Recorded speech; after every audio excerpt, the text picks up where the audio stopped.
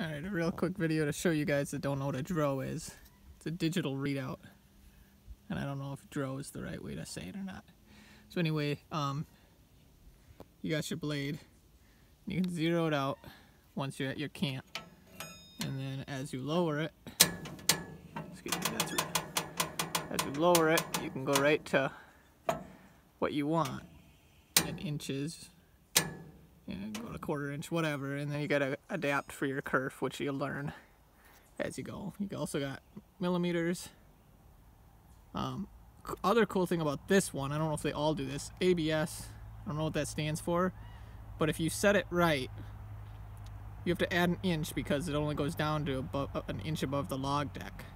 But that'll tell you it's 8.8 .8 inches off the log deck.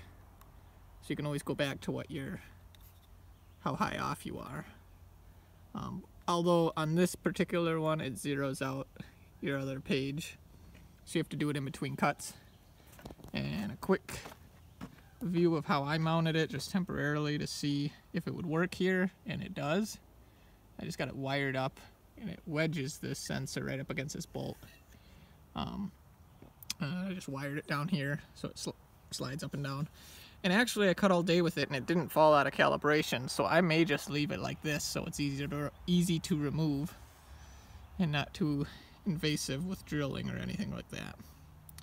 Um, and the other thing I added on my mill was an hour meter that also switches to a tachometer when the engine's running. Alright. I got my old piece here, but figured I'd show you guys that because a lot of people talk about it, but no one has a video on it yet.